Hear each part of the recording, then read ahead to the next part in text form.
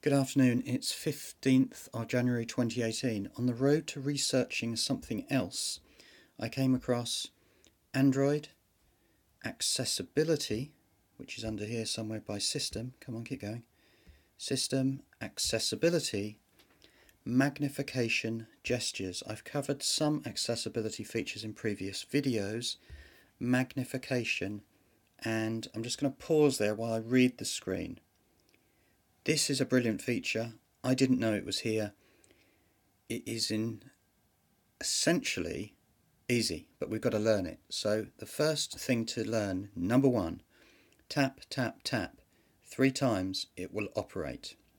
A two finger scroll, a two finger pinch, and to zoom temporarily, the bottom part, you tap, tap three times and the last one, hold the tap and then drag it around. That one's a bit tricky, so let me show you and demonstrate and get this video taught as quickly as we can. So, magnification gestures are turned on. First one, tap, tap, tap, and it doesn't. See what's happening here is that what I've done, let's go back one, uh, let's try down here, tap, tap, tap, there you go. Now a two finger scroll, a two finger pinch. To get out again, is it a single tap? Three. Right, three, back down again. This one I'm going to attempt the, i tell you what I'm going to do is bring up um, the one about the Ranger because it's quite nice looking. Right, so let's say we looked at the Ranger Watch app, you know, as an example because it's got a nice picture on the front. One, two, three. There we go.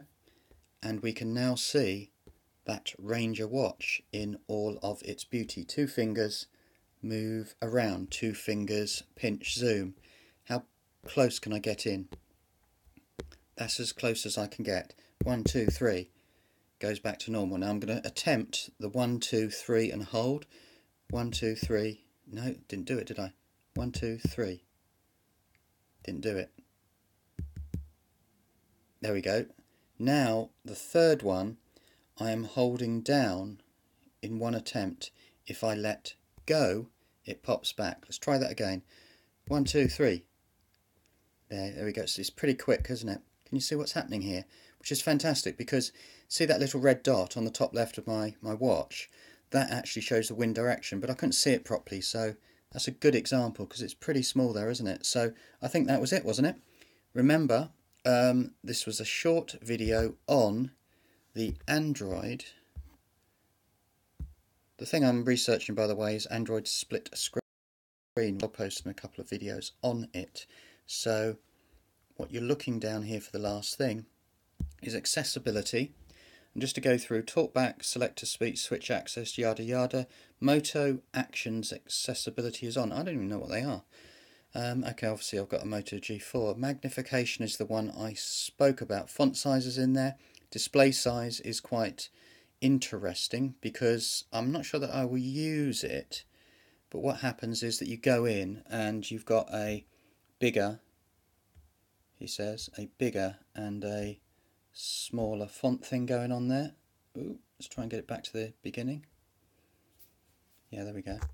And let's finish up. Display display high contrast power button auto rotate speak passwords See, I could go in and make a ton of these, but the point of colour inversion, boom, colour inversion, back again. I've had quite a lot of um, comments and people saying stuff about colour inversion.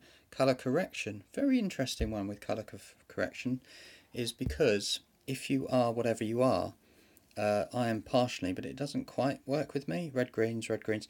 Look, let's finish here because um, this was really about the magnification, wasn't it? So have a beautiful um, Monday or wherever you are.